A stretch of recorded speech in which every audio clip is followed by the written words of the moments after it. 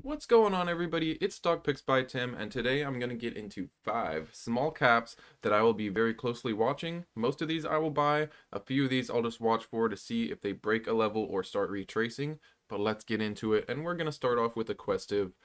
Now this one is expecting the FDA trial to either be approved or denied December 23 I believe it is and we are starting to see some buying pressure come in and we did find this support it seems because this was previously a resistance a long time ago, so it did find this as somewhat of a support.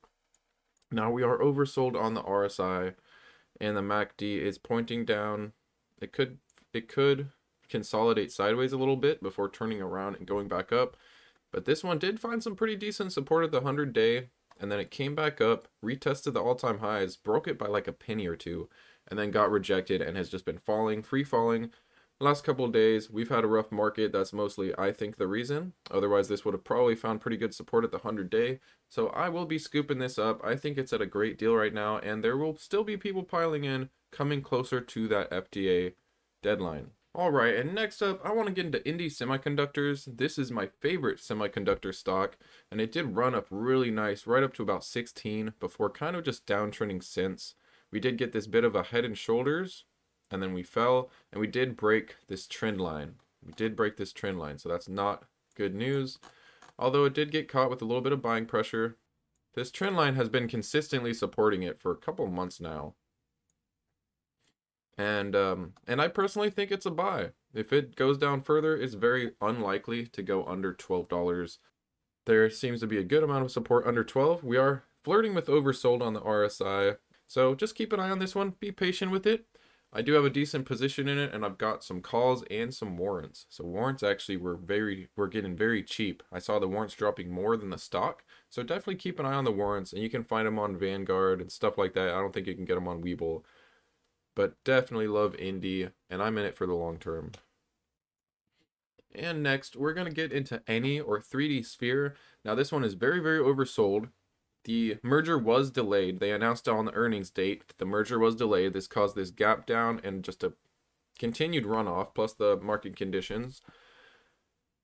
And I think it's still somewhat of a falling knife. I would wait to see it turn around, but it is heavily oversold. The thing is, everyone just got out of this one because the merger was delayed and people, you know, people gave up on it essentially. Now, if you're convicted on this, I think now is a great time to buy. I won't be buying right now because I am a bit overextended in companies like this, CleanSpark, Bitcoin in general. If I didn't have so much in the crypto side of things, I would very likely be buying some of this right now, but I am a little overextended in it. And for that reason, I'm going to hold it and I'm just going to wait, see when we retrace, and then potentially add to my position. But for now, this is somewhat in free fall, and I would wait to, I would wait for a reversal. And next up, we've got Volta VLTA, and it does look like the MACD is turning around, and we've got the RSI pointing upwards from oversold, very heavily oversold. And we do see some green starting to appear here. I think it's a great time to buy it. I like Indie. I've said I like this under 10. It's barely $8. I would pick it up right now, and I'm going to continue to do so. Volta is definitely a great charging play. And I do have this and I have ChargePoint and actually ChargePoint's another one that's at a pretty good zone to buy. It's down in the low 20s, right about like 21 $22. But these two, Volta and ChargePoint, two great charging plays.